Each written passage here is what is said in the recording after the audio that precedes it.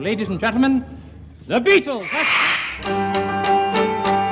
I've tested quite a number of these guitar groups. I've never seen anything like these guys. Everybody knows the story of the Beatles when they became famous. Why did you leave the Beatles? And the reason it was given at the dismissal was uh, I wasn't a good enough drummer. They felt Ringo was better. John said, Pete Best is a great drummer, Ringo Starr is a great Beatle. So the first money that ever changed hands between me and the Beatles was decking, decorating the ladies' toilet.